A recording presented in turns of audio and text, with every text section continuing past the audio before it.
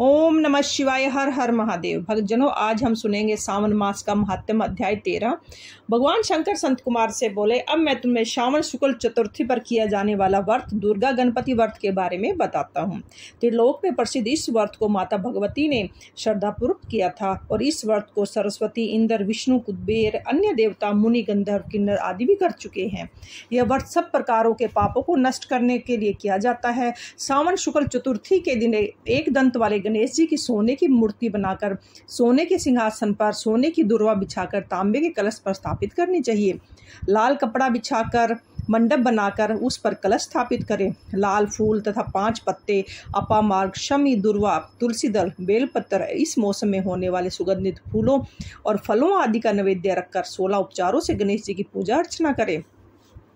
और प्रार्थना करें, इस सवर निर्मित प्रतिमा में विघ्न विनाश गणेश जी का आह्वान करना चाहिए। इसमें जिससे वो पधारे, रत्नों से जड़ित उत्तम सिंहासन पर बैठने के लिए देता हूँ, आप इसे स्वीकार करें, ऐसा गणेश जी पर कव बोले। हे माता पार्वती के पुत्र, हे शिव व्यापनी, हे सनातन, मैं आपको प्रणाम करता हूँ। मेरे विघ्नों का नाश करें। हे सूर श्रेष्ठ लाल चंदन चर्जित मैंने भक्तिपूर्वक वन अक्षतों को चढ़ाया है। आप इसे स्वीकार करें लोगों के अनुग्रह के लिए। तथा दानवों के विनाश के हेतु एक दंत, यह आपका पतवार है। प्रसन्नता पूर्वक धूप को स्वीकार करें। इस दीपक को मैं आपको देता हूँ, इसको आप नमस्कार करता हूँ। गणानात्मक वैदिक मंत्र से लड्डू, खीर, कपूर, इलायची युक्त पान आपको समर्पित कर रहा हूँ। हे गणेश्वर, हे गणाध्यक्ष, हे गजानन, हे गौरी पुत्र मेरा व्रत आपके प्रसाद से परिपूर्ण हो। जो पाँचों प्राणी पाँच वर्ष तक इस व्रत कर उद्यापन करता है, वह अपने मनवांछित पदार्थों तथा वस्तुओं को प्राप्त कर लेता है और अंत में देह त्याग कर मेरे लोक को प्राप्त करता है। यदि इस व्रत को कोई तीन वर्ष तक करे तो उसे सब सिद्धियाँ प्राप्त हो जाती हैं और अंत में वह परलोक को जाता है। इस उत्तम व्रत को जो प्राणी उद्यापन के बिना करता है, यथाविधि पूरा व्रत करने पर भी उसका उसका फल फल हो जाता है।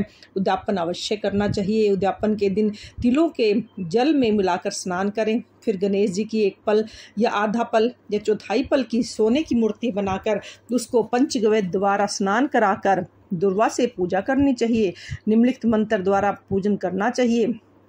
हे गणाधीश, हे हुमासुत, हे विघन विनाशक, आपको नमस्कार है। हे विनायक, हे ईशपुत्र, हे सर्व सिद्धि प्रदायक हे हेम वक्त हे मूषक वाहन, हे कुमार गुरु, आपको नमस्कार है। ये सभी नामों से अलग अलग पूजन करना चाहिए।